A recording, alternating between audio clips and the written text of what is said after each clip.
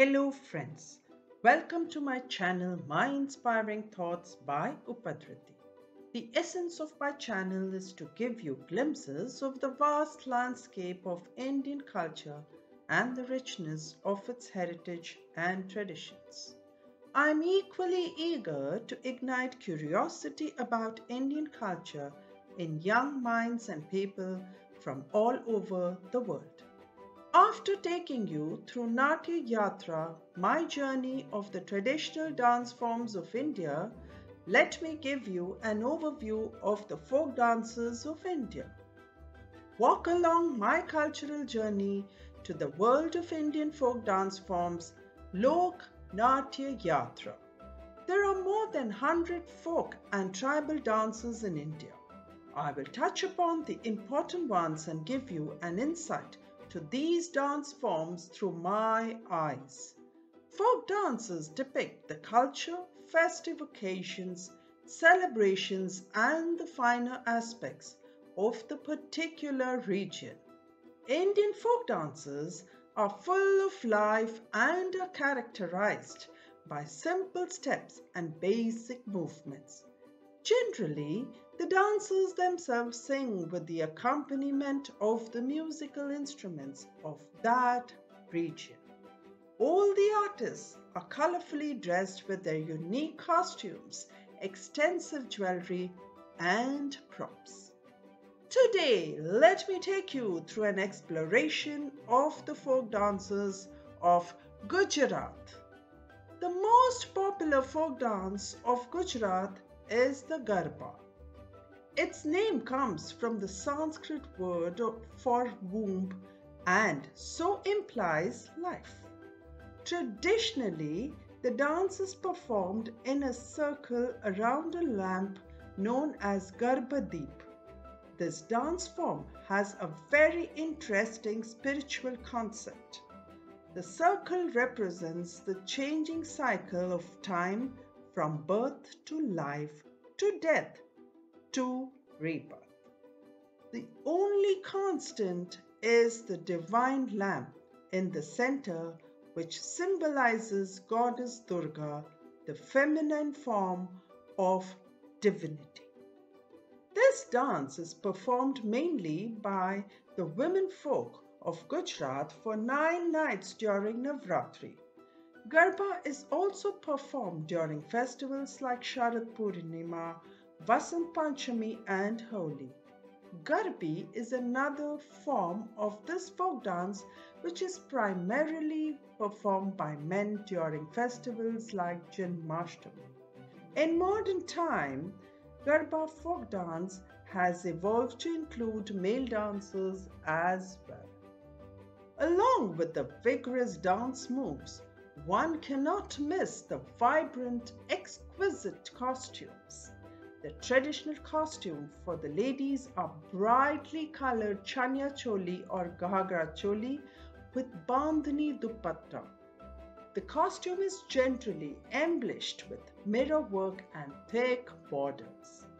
They also wear heavy oxidized jewelry including necklaces, sparkling bangles, waist belts and long earrings.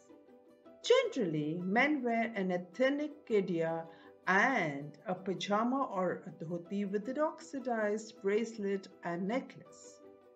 Along with the traditional Garba songs, the commonly used musical instruments are the damru, tabla, nagara, murli, and turi. Dandiya or Dandiya Ras is one of the most famous folk dance forms of this state. It is also known as stick dance as Dandiya is the name given to the wooden stick used in this dance which are believed to represent the sword of goddess Durga. This dance form is always performed in a group who move in a circular pattern with rhythmic movements synchronized with the percussion beats. Here, the dancers hold a foot long decorated wooden stick in each hand and they strike the sticks in coordination with the fellow dancers as they move in a circle. It is a visual treat to watch the performers dressed in elaborate colorful costumes dance with vigor yet grace. Like the Garba, the Dandiya Ras is also a popular feature of the Navratri festival. The main difference between the Garba and Dandiya dance forms is that in the latter, sticks are used while the former emphasizes on clapping the hands. Traditionally, Garba is performed before the Aarti while Dandiya Ras is performed afterwards. The costume is very similar to that of the Garba. Both Garba and Dandiya Ras have become household names in all parts of India as well as abroad. Bhavai is a folk dance where both male and female dancers perform while balancing a number of earthen pots or brass pitchers on their head. They dance nimbly, swaying on the soles of their feet with immense grace. Sometimes the dancers thrill the audience with their precision while being perched on the top of a glass bottle or on the edge of the sword or in the rim of a brass thali, leading to a nail biting finish. Tippani is a unique folk dance in Gujarat which originated from the Chorwad coastal region. Tippani is made of a long wooden stick with a wooden or iron block called garbo at the lower end to make it strong. The dance originated among the Koli community who performed Tippani dance to avoid the monotony of their work. The dance is performed exclusively by women, tapping the floor with the stick while executing rhythmic movements.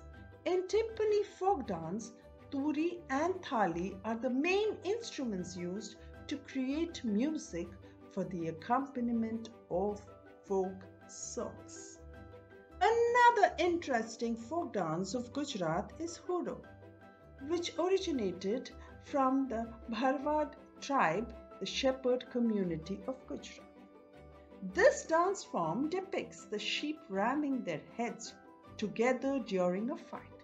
The dancers clap their hands while enacting in a forceful and rhythmic manner. The beauty of the dance lies in the colorful, gorgeous costume and traditional jewelry worn by the dancers. An interesting aspect of this dance is that they perform carrying an umbrella which has exclusive embroidered patterns and stunning mirrorwork. The traditional musical instruments for Hudo folk dance are the dholak, harmonium, flute, kansi, joda, and manjira.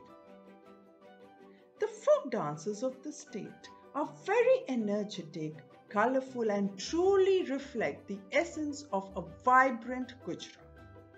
Now that you have been a great audience to this overview of some of the finer aspects of the folk dances of Gujarat, I am sure the next time you witness any of the above dance performances, you will really appreciate the nuances Namaskar till we meet again in the next episode of Lok Natya Yatra, my cultural journey of Indian folk dance forms.